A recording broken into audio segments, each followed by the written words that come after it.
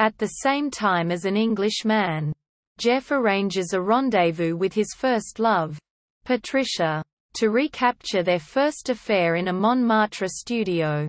The son of the concierge persuades his first love Simone to climb up to the same studio bedroom window thinking it would be empty for the night. Meanwhile Jeff finds Patricia has grown bitter over the years. And that the warmth has gone from their relationship.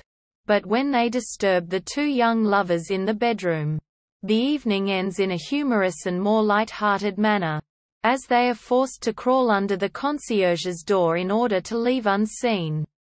Running late to school the concierge's son sees a young American girl, who is studying at the American Hospital of Paris in Neuilly, and who is having an affair with an older doctor. Not only must they keep the affair secret from the concierge, but also from the disapproving general public by having to meet in shady hotels de passe. However an escape to the seaside in Normandy brings matters to a head between them. As the Second World War begins. In occupied Paris, Marcel, the managing director of an important cement business, arrives at the studio which he is renting for his mistress Josette, and bumps into a German Oberleutnant on the landing. As it is Christmas Eve, old enmities are put aside.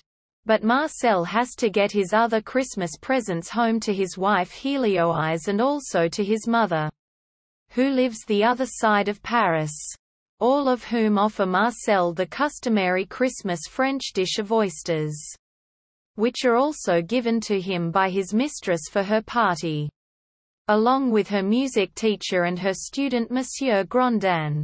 The only form of transport in Paris during those war years were velo taxis, a type of bicycle rickshaws, which are unable to get the overweight Marcel to all of his women in time for their oyster dinners.